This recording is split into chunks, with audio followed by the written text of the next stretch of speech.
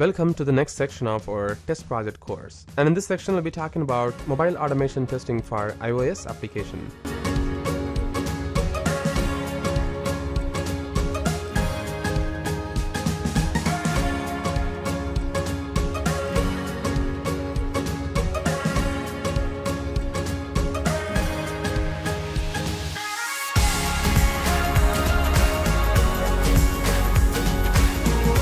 Hi guys, my name is Karthik and I am from executeautomation.com and welcome to the next video of test project course. And in this video I'll be talking about introduction, configuration and quick run of a simple test in iOS device. Test project for iOS mobile application automation can be done for both native as well as hybrid application type. And once again, hybrid application type support is not officially supported by test project team, but we can still execute the test as we did in our Android section of this course. Before actually configuring physical device with your test project, as it requires a lot of restrictions, I'm going to show you how the architecture of test project looks like while it's executing a test on your physical device.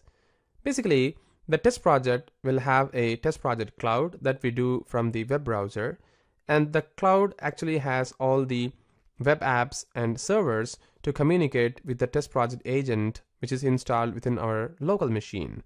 The local machine here can be a Windows machine or it can be a Mac operating system. In this case, I have a local machine as a Mac operating system. And in this section, I'll also show you how you can execute test on a iOS device from Windows operating system. But as of now, I'm going to show you how you can run the test on a Mac operating system. So this test agent, and then this test agent is going to take the request from the test project cloud via HTTPS and then it is going to initiate the test on the connected devices. So this test project agent knows which device is connected to itself and test project agent is going to install a test project application within your physical device again it's a customized WebDriver agent which is maintained by facebook and test project team has written so many different features and functionalities wrapped around the WebDriver agent to make testing more easier and better than compared to the actual WebDriver agent itself. So this WebDriver agent then helps you to communicate with the actual application under test by taking all the requests from the test project agent. So this is how the architecture of the test project looks like while executing a test in a much higher level. As you can see here, the test project agent is actually installing a customized WebDriver agent, which is nothing but the test project application within your iOS device. But iOS devices by itself has so many restriction to install an application within a physical device. And that's why there requires a lot of configuration which is not something available in the Android device. Because in Android device while we were trying to execute a test on a physical device we did not really see any installation happened on the Android device even in the physical device as well as the simulators. But here since test project is installing a test project application within your iOS device it still requires a lot of configuration so configuring your Apple iPhone device with the test project portal is not as straightforward as Android device due to the security restriction with Apple devices. Again, these are the same restriction applicable in Appium as well while you try to run the test on a real device. Here are the following prerequisites you need to have during the configuration. The first thing as you can see on the right hand side this is the settings that you can see from your profile where you have an option called iOS. And here you need to input your Apple Team ID. Again, this Apple Team ID is nothing but your developer ID. So you should have an active Apple developer account. And once again, this Apple developer account is, is going to cost you 99 USD. So you should have that. And once again, I actually got one from test project team. They helped me to get this Apple Team ID and they helped me to generate certificates and provisioning profile and that's why I actually could able to run the test on a real Apple device but while you need to run the test on real Apple device you should actually have these device certificate as well as the provisioning profile so that you can actually run the test on an Apple device. So this is kind of downside, but I won't see it's a downside. It's actually a restriction which is brought from the Apple itself. So if you're going to run the test on a test device, you should have all these Apple developer account so that you can run the test on the physical device. So the active Apple developer account will help you to get the device certificate as well as the provisioning profile and you can get the CSR file from the test project portal and generate the file to get the device certificates and provisioning profile. So in a nutshell, all you have to do is this. You need to have an active Apple team ID or the Apple developer account and then with the developer account in here as an input, you can generate a certificate signing request or CSR. You can also generate this from the keychain access of macOS or you can do it from here. This is a very simple option which Test Project has provided it for you.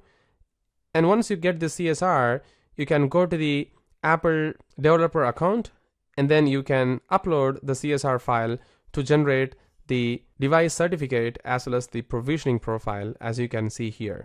And then you need to upload the device certificate as well as the provisioning profile so that you can see that your device will be available for you to communicate with test project portal. So this is the configuration part. This is kind of a painful part than compared to Android, but still this is the way that you can actually do. So the test project agent can communicate with a real device. So this is the configuration prerequisite of the iOS device itself. Let's quickly see everything in action and understand how things work. And once again, I'm not going to show you how you can configure that by generating the certificates and provisioning profiles. As I said before, I don't really have a developer account. And again, these are pretty straightforward. If you still have an Apple account, you can easily generate device certificate as well as provisioning profile using the CSR file which you can obtain from the test project portal. I'll quickly show you how you can run a very simple test using a physical device. So for that, I'm going to flip to my test project account. Alright, so this is my Chrome browser and then I'm going to navigate to the testproject.io and I'm going to sign in. And I guess I have not started the test project agent. So let me open that. Alright, as you can see the test project agent is currently starting. And once again, I have downloaded the test project agent from the agents tab that we discussed before. So if you go to the agents, you can see there is a Mac. So you can just select that so that it can download the agent for you. And it has currently been installed and you can see that it is currently running in my Mac operating system. So now you can see that the agent is currently running and I have also configured the agent as we did in our previous video. So if I go to the agents tab here, you can see that I have my test agent of the Mac operating system and it is currently in idle state. So if I open this, you can see that it has all the informations like it has a browser of Chrome and Safari and it is available here. And you can see that the test project agent I got has version of 0.41.26 whereas for my Windows agent that we were discussing until last video was 0.42. So this is the newer version. This is kind of older version, but still it works pretty fine as, as we were expecting. And now if I go to the devices tab here, since I have already registered my iPhone, you can see that this particular iPhone device appears here. And you can see that it is currently being authorized as well.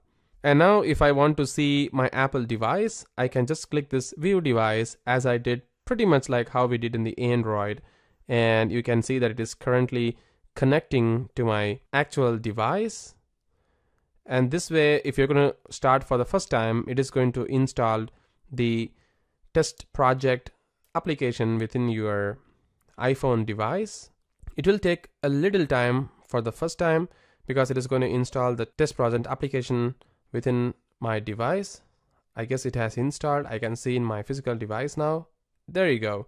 So this is my beautiful iPhone X device and you can see that it is going to be performing pretty much like how we did with the Android device as well. So if I do a swipe, you can see it is currently swiping here, which is cool.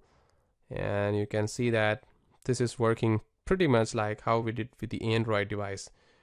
Fantastic. So this is how the iPhone device can be connected. I'm just going to close this guy I'm gonna go to the Homes tab and I have actually created a very super simple recording for running the test on the iOS device for the iOS test. And you can see this is the one. And I'm going to quickly run this test for you and I will show you how it actually works. So I'm just going to hit this start recording button so that it will launch the device for me. I'm going to click that guy there you go. You can see it is pretty faster than before because the test project application has already been installed there. And you can see that it is automatically opening YouTube application for me. There you go. And now if I try to run this test over here you can see that it is going to execute the test for me. And whatever that I have input is actually happening. So you can click you can see that it is clicking the trending subscription inbox and then it's going to enter some value for me there. There you go. That's it. So this is how the test will be executing. So you can see that it's currently working and even if I hover to these options you can see these options are coming as a XCUI element. Again with Android it was Android element and here it's all XCUI element right? That's how iOS operating system actually recognizes all these elements right so this is how everything works in the iPhone world and the Mac OS world. In our next video, I will quickly show you how you can do a super simple recording and also followed by that, we'll see how we can work with these kinds of element pretty much like how we did with the Android and we'll understand how things work. So once again, thank you very much for watching this video and have a great day.